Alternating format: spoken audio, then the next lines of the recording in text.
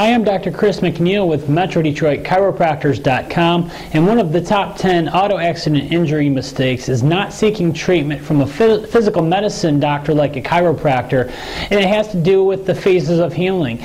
Um, and the first phase of healing is inflammatory phase, um, and as you go into the repair phase, it's important to seek that physical medicine treatment from the uh, chiropractor um, to allow the tissues to lay down and repair repair and heal with the collagen more strong, more elastic, and less sensitive. Whereas if you're not getting that type of physical medicine care, your tissues will heal uh, more sensitive, less elastic, and less strong. So that's one of the uh, mistakes people make is not seeking care from a chiropractor after an auto accident injury. And if you have been injured in an auto accident, we'd be happy to help you out.